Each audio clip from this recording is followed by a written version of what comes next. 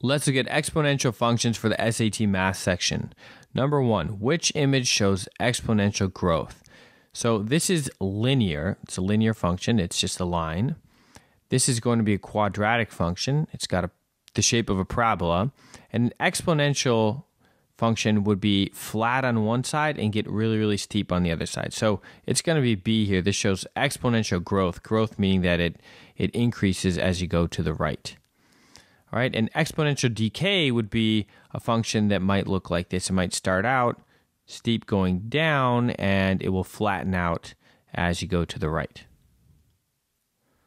All right, number two, find the y-intercept of y equals 3 times 2.2 to the power of x. Well, the y-intercept for any function will be where that function crosses the, the y-axis right there. And we know that x is always 0 where it crosses the y-axis. So all I have to do is put in 0 for x right here. 2.2 to the power of 0 is 1. So y equals 3 times 1. The y-intercept would be 3.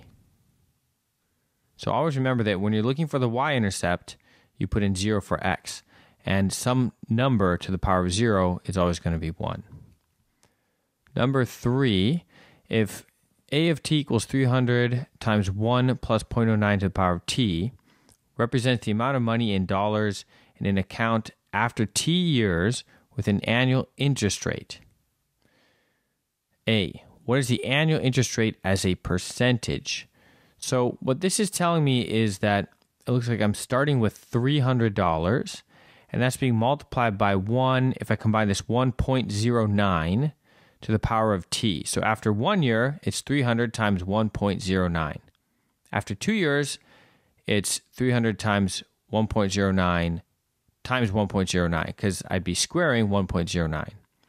So every year I'm multiplying by 1.09, which means that the annual interest rate would be 9% because I'm multiplying by 1 0.09. So if I just multiply by 1, I get the same as what I had originally. But this 0.09 is the extra amount that I get, and 0.09 is 9%. B, how much money to the nearest cent will be in the account after five years? So I can use a calculator on this one. Well, that means that they said that after T years, so T represents years, so I just plug in 5 for T, and let's use the calculator to see what we get. 300 times 1.09 to the power of 5, I get 461.5, and that would round up to 59. So that would be $461.59. Number four, the graph below could show which of the following equations. So here's the graph that we have. And here are the options here. So y equals negative 2 to the power of x, y equals 2 to the power of negative x, y equals negative 1 half in parentheses to the power of x, y equals negative 1 half in parentheses to the power of negative x. So it looks like it's going to be something like 2 to the x or 1 half to the x with a transformation, maybe flipped horizontally or vertically. Let's really quickly look at what y equals 2 to the x and y equals 1 half to the x would look like, and then see what transformation we have here. If we have y equals 2 to the power of x, then that means that when we plug in 0 for x, I'm going to get my y-intercept first. If I plug in 0 for x, 2 to the 0 is 1. So I'd have the point 2, uh, sorry, that'd be 0 comma 1. And let me just make, make the scale be like this. So this is one, two, three, four, one, two, three, etc. like that. Negative one, negative two. So I'll make that each of these little tick marks worth one. Okay, so we said if we plug in zero, we get an output of one. That would be right here. If I plug in one, two to the power of one is two. So I go over one and my height doubles. If I plug in two, y equals two to the power of two, that would be four. So two, four. That's going to be two, three, four way up here. Every time I'm going to the right, I'm doubling, right? I'm going to multiply by two one more time. Two to the power of three is eight, so that's that's like way up, way up here. All right, so it's going like this.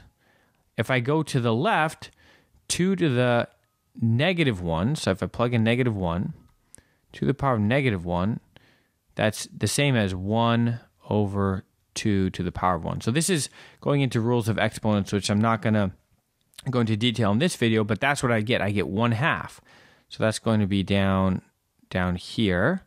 And then 2 to the negative 2 would equal 1 over 2 squared. That's the same as 1 fourth. So I'm halving as I go to the left. That makes sense because as I go to the right, it's going to double. Okay, so it would flatten out on this side and get very, very close to zero. It would never hit the height of zero, but that's what y equals 2 to the x would look like. Now, let's do y equals 1 half to the power of x in red. I'm going to look for my y-intercept first. 1 half to the power of 0 is 1, so that goes through this point as well. 1 half to the power of 1 is just a half.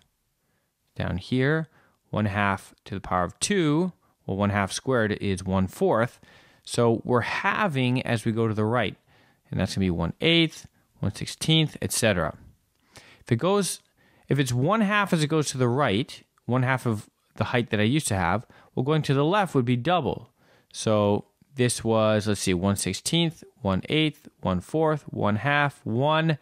This is going to be 2, and then this would be 4 right here. And in fact, I can check. So let's let's say that we plug in negative 2 for x. So y equals 1 half to the power of negative 2.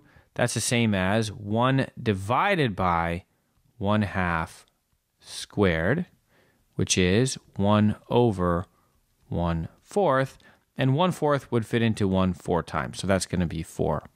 So this graph is actually, let me just draw it first. 1 half to the power of x is actually 2 to the x flipped across the y-axis. All right, and seeing these two graphs can help us figure out what would the answer be here. So it looks like this graph, the green one that we're looking for, is going to be 1 half to the power of x flipped upside down. So I'm looking for the opposite of 1 half to the power of x.